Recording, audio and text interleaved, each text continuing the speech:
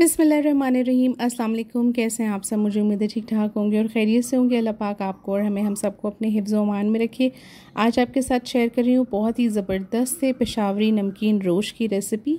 वैसे तो ये आ, दुम्बे के गोश्त में बनाया जाता है और वहाँ बहुत ही शौक़ से खाया जाता है, लेकिन आज हम आपको बीफ के साथ इसको बनाना बताएँगे। मैं मटन के साथ बनाना बता चुकी हूँ, उसका लिंक मैं डिस्क्रिप्शन में दे दूँगी। लेकिन सेम ही रेसिपी है, सिर्फ़ गोश्त की कुकिंग का फ़र्क बनता है और आप यकीन माने, इतनी ज़बरदस्त ये रेसिपी बनती है। बहुत ही सिंपल सी इंग्रेडिएंट्स के साथ और बहुत ही आलिशान इसका शोरबा होता है, बहुत ही ज़्यादा मुफीद है। चिकनाई बिल्कुल भी नहीं होती, आप बच्चों को भी दिला दे सकते हैं, बुज़ुर्गों को भी जो आपके घर में हो, बहुत ही ज़बरदस्त रेसिपी है। तो चलिए आइए, इसको बनाना स्टार्ट करते हैं। अगर मेरे चैनल पे पहली बार आए तो आपसे हम्बल रिक्वेस्ट है कि सब्सक्राइब कर दीजिएगा चैनल को और बेल नोटिफिकेशन को भी प्रेस कर दीजिएगा, ताकि मेरी हर नई आने वाली वीडियो का नोटिफिकेशन आपको फौरी तौर पर फ्री में मिल जाए।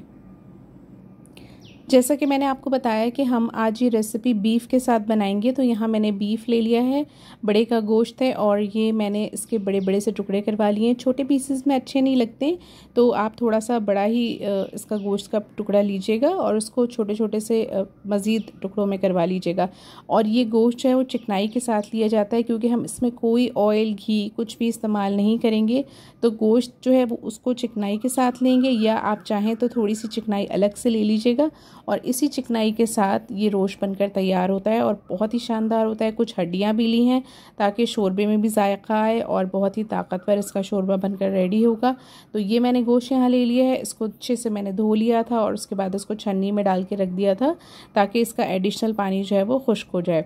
बिल्कुल इसी तरह से आप इसको मटन में भी बना सकते हैं और चाहें तो चिकन में भी बना सकते हैं। सिर्फ़ इसका कुकिंग टाइम डिफरेंट होगा। अब चूँकि नमकीन गोश्त है तो नमक तो जाएगा तो सबसे पहले मैं इसमें दो किलो गोश्त के हिसाब से दो टीस्पून नमक डाल रही हूँ, क्योंकि बाद में भी हम डाल लेंगे अगर कम होगा, लेकिन ज़्यादा हो जाए तो आप निकाल नहीं सकते। तो इसलिए मैं दो टी डाल रही हूँ। आप अगर तेज़ नमक खाते हो तो आप ज़्यादा डाल लीजिएगा और बहुत अच्छे से तमाम गोश्त पे इसको हाथों की मदद से हम अप्लाई कर देंगे।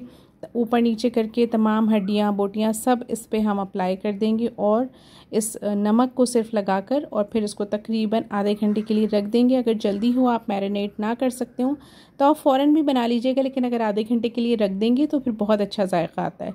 और नमक जो है, उसकी वजह से गोश्त का अपना पानी भी जो है, वो रिलीज़ होना शुरू हो जाता है।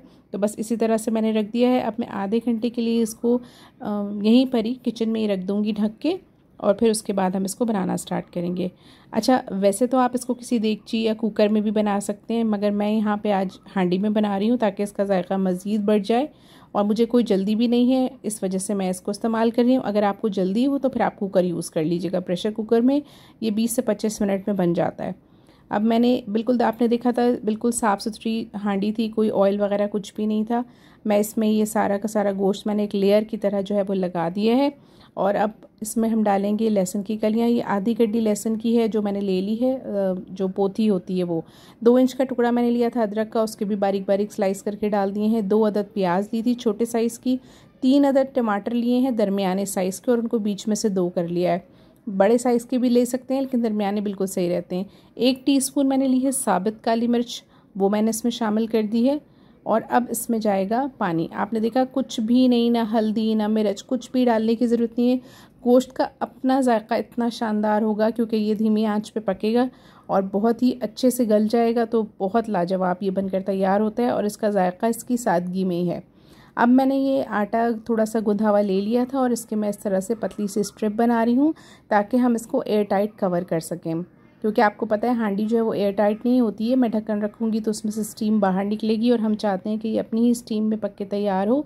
तो मैंने इसीलिए पानी भी आपने देखा कि कम डाला है और अब मैंने ये चारों तरफ़ बहुत अच्छे से आटा लगा दिया है और मैं इसका ढक्कन रख दूँगी और इसको प्रेस कर दूँगी और थोड़ा सा आटा इसकी साइडों में लगा दूँगी ताकि स्टीम बिल्कुल भी बाहर नहीं निकले।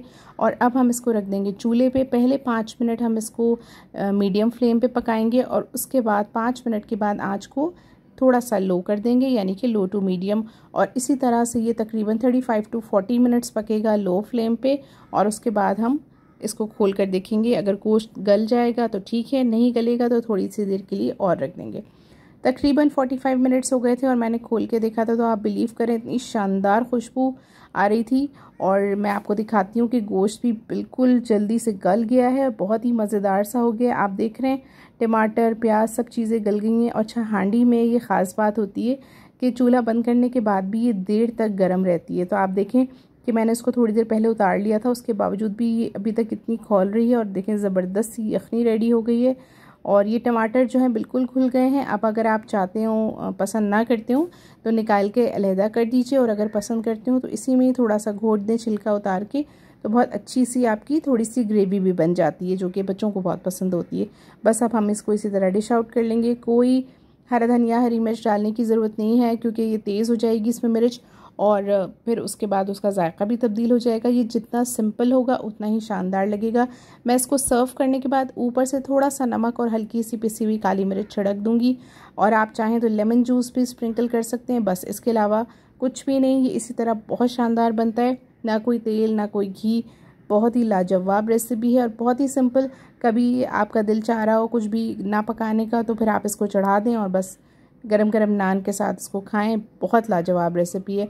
मेरी रिकमेंडेशन पे ज़रूर ट्राई कीजिएगा। रेसिपी पसंद आए तो अपनी फैमिली और फ्रेंड्स के साथ शेयर कीजिएगा और मुझे दुआओं में याद रखिएगा।